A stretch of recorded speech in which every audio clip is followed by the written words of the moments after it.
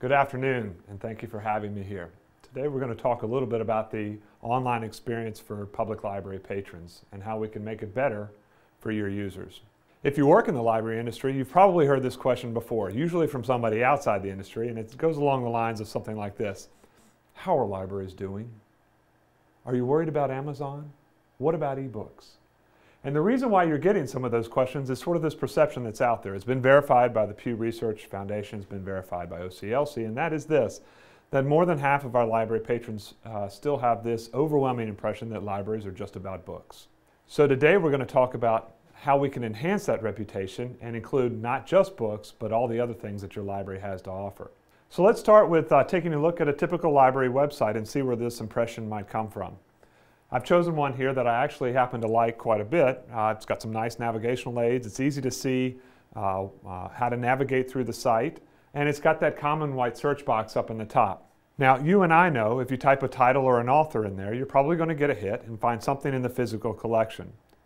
But for the online user, the white box may mean something differently. And we don't need to necessarily recreate the wheel here, but there are some conventions out there that are used over and over again. And one of those is this. When you have a white box, it means you're searching everything in the catalog. But if you type something other than a title, author, or subject in this white box, guess what happens? You get an error message. And not only do you get an error message, sometimes you get encouragement to try that search again and double down on your frustration. But the point is that the search hasn't broken. The user is just unaware of what's actually available in that search. And it's no wonder because when they go to any other white box on any other retail site or web search site, what do they find? Let's look at a few. Take a look at Amazon. It doesn't matter what you type in there, it's going to search everything that they have. Whether that be a book, whether that be a DVD, groceries, electronics, anything that Amazon offers, they're going to be able to search it via that white box. And it's the same in any retail environment that you go to, whether that's Macy's. You want to search for raincoat, you want to search for shoes, same white box. And that's the issue that we have with some of our library sites today is that if you're searching that white box, you're only getting the library catalog results. So let's take, it another take a look at another library site. This one I also like. It's got some uh, very easy to see navigational aids and where are they putting some of that additional online content? Where are the things other than the catalog? You've got the catalog search right there in the middle, but they've got something under the research tab right there. Big problem right off the bat. Most people don't think they're actually doing research. In fact, many people uh, whether they're searching for car ratings or medical advice or anything else, they don't call that research. The other problem there is that for the most part, users are not going uh, below the home page for any site, let alone library websites. So what that means is that typically they're using that white search box or they're bouncing off this page to go somewhere else. They may be going to their account page, but they very rarely go beneath those pages. If you look at your analytics for a typical library website, it's in the single digits uh, percentages for how many times they go down there. And so that, unfortunately, is where we're putting almost all of the library's full text online content under that research button. And what we want to talk about today is taking that, because when you arrive there, you get this nice little uh, uh, list of databases and making that more available to patrons. The second problem here, once you've arrived at this page, is we still haven't gotten to a point where we can start searching. You can search for other subjects. You can figure out where you're trying to navigate. The patron may or may not recognize a database name. They probably don't. They don't know what Gale means. They don't know what EBSCO means.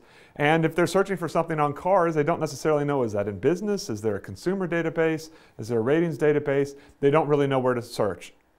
So on top of clicking once, they probably have three or more clicks before they even get to the right location. So what we'd rather do is take this whole list of databases and turn it into something that's a little bit easier to use. One search box. If you want to call it Google for Libraries, that's fine, but it's one search box for all of the full text content that you have. Not just your catalog, but all of those databases that you have as well. Because every library has access to content that's immense. In fact, uh, if you compare the size of a typical library catalog to all the full text content, use whatever analogy you like. A grain of sand to the beach, a drop of water to a bucket of water, whatever it is, your library catalog is actually a very small set of metadata. There's little full text in it. Uh, it may or may not have ebooks in it, but it definitely doesn't have the full text searchable in it. And so what we want to do is give you access and give your patrons access to all this other licensed content that you have that is immense. that is gigantic so that they can search all of the things that the library has and not just an inventory system of what the library physically has available. You have patrons out there that want this information. It may be information on their health topics, it may be information on their retirement, it may be information on their favorite baseball team. The point is, is that they're out there searching the open web. They may go to Google, they may go to Wikipedia, they may go to some blog site. So what we want to do is marry that demand out there for all of that information with the supply that your library already has. You have quite a bit of information in your library, and we can use uh, EBSCO's Discovery Service to connect your patrons with that data. So what happens when a library implements Discovery? What can you expect? What's the value that you can receive from it? Well, right away, we know a couple of things. First of all, for students, they're getting familiar with something that they're more than likely going to find when they get to a college or a university. So whether or not they're college bound uh, or whether or not they just need to finish a project, learning how to find good information, learning how to cite good information, learning the tools that do that, and even some of the names of the journals uh, that they may want to go back to, this is helpful. When we did our own research to test whether or not students were successful at doing this kind of research, at writing these types of papers, what we found is that the ones that were successful actually were able to learn those skills as freshmen in high school. Whether or not they have access to this in schools, which is not always a guarantee, or whether or not your library has access to it and you can make it available to them, you're doing them a favor and guaranteeing their success once they get to college.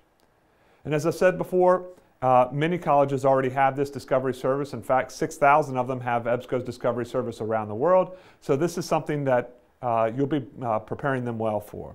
Now, one of the more popular reasons and one of the more popular effects for implementing Discovery is that your database usage will go up across the board.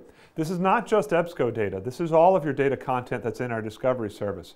So whether it's EBSCO, one of our competitors, an encyclopedia, Newsbank, JSTOR, whatever the source, you'll be able to go in and increase the database usage across the board. So this is probably one of the more exciting pieces of data that we have to offer for any library implementing uh, EBSCO's Discovery Service. Now maybe your service only doubles or triples, but you can see here if you were any of these libraries, uh, whether you're Richland County or Hennepin County, which are public libraries, or even Info Ohio, which is all the schools in the state of Ohio, you can see here they're not just getting incremental increases, and they're not just getting search statistics. These are actually full text links uh, uh, folks have clicked on something to go read the full text, and you can see 10 times the usage at least for each of these customers. And this is what's exciting and what's going to be exciting for your library. You have already invested money in these databases. An EBSCO Discovery Service is going to help them discover not only what databases you have, but it's going to create a better informed public for your society. This is what libraries have been doing for hundreds of years, providing access to materials and resources that individuals may or may not have access to on their own. They may not be able to afford them. I took this next slide from Morton Grove Public Library. And what's interesting here is that you can see sort of the differences for them between the open web and what their online databases can offer. And you could ask the same question of yourself and of your patrons. Is it important to you uh, where that information comes from? Who wrote it? Were they an expert in that field? Did they have an editor? Was it fact checked? Is it real information, real research, or is it just the entertainment news that we get from the typical websites where we go for our news stories? These are the differences between open web sources and the sources that your library has. It is an unfulfilled demand out there. You can fill it. And when you start to fill it, it will become sticky. People will want to go back over and over to it. You'll create a better online experience, not just for your patrons, but for your library uh, uh, customers that have not been coming to the library to this point. So how do we do this? How do we make discovery work a little bit better? Well, I'm not going to go into a technical uh, conversation about this, and this Rube Goldberg machine is sort of a funny way to introduce this topic, but the point is this. When you're talking about discovery, we're introducing some things that your library has never been able to do before. And it revolves around two particular uh, uh, features. Number one is big data. We're taking massive amounts of full text and combining it in one place and indexing it. It doesn't matter if it's EBSCO data or some other database from some other competitor. We have all the data, metadata and full text in one place. It's all indexed together. When you have big data like that, you're able to have a more than enough information so that you can go and get the most relevant information and make those results appear at the higher up in the list. Along with that, and just like the big web services, we also have aggregated search data. This is anonymous, but we're able to predict more than half the time what people are searching before they've even entered in a few letters. Most searches are one or two words.